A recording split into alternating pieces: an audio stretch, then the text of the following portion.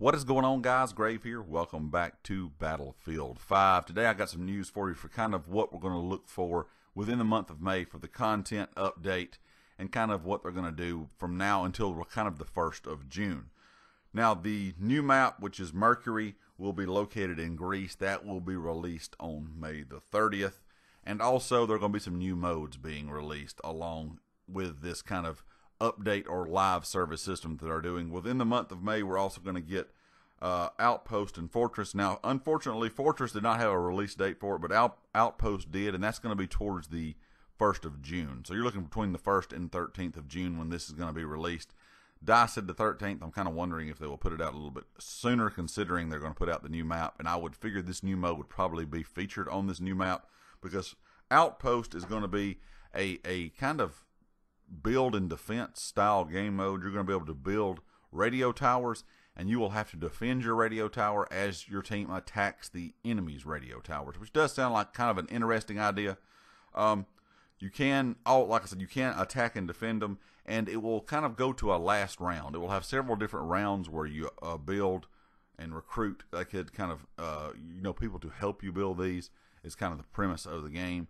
And then the last uh, round will kind of be whichever team defeats the other first will win. So they said uh, being able to heal people, so having uh, medics there is going to be a big thing to revive people. Because I'm assuming it must be kind of a one life situation because once you're gone, you're gone. Is kind of how they worded it. But it sounds like an interesting mode. I don't know if it's something that I'm exactly going to enjoy that much. It doesn't exactly sound like my cup of tea. But the Fortress mode sounds a little bit more interesting. Like I said, Fortress mode does not have a release date for it yet but it'll, it'll be kind of an idea of like Breakthrough was if you're a Breakthrough fan, but a little bit different. Uh, we'll have multiple flags in a certain area. One team attacks and one team defends, of course, but they said the sectors have a whole lot more fortifications.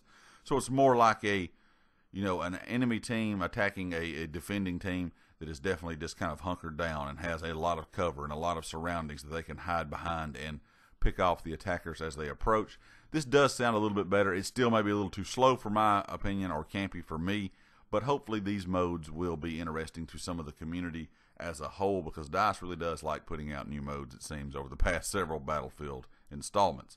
Uh, of course, they will have new Elite Soldier skins. Uh, the price will be normal price. You know, the last two Elite skins we had came out and they were on sale for around nine or ten bucks uh, in the U.S.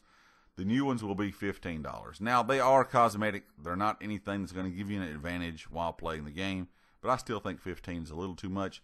The main reason I think that is because most games, if I think of Fortnite, if I think of Star Wars Battlefront 2, any game that gives out skins that's in a third person kind of aspect, you're playing in third person, I can see charging a bit more real money for those skins because you can see them.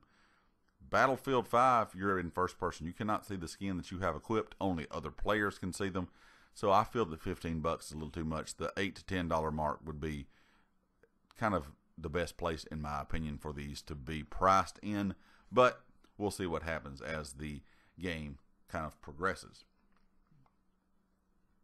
Also, we'll have a new chapter reward system. The chapter reward system is broken, in my opinion. Now, it is cosmetic items, but it does take a little bit too long, especially for people who do not get to play a whole lot. They will have the option to, up to a certain point, you can buy the cosmetic items from the past chapter with uh, real money, of course. And it, it's not, once again, not a thing that's a game changing thing, nothing that's going to give you an advantage. So if you want some of those cosmetic items, you can go buy them with real money. They were not that expensive. It was nothing like the elite skins. But I still feel that the process of the whole chapter system needs to be reworked because I think that players that do not get to play a lot, players that don't get to play but maybe a couple days a week, maybe just on the weekend, do not have enough time to have the option to unlock these skins within game without having to pay for them.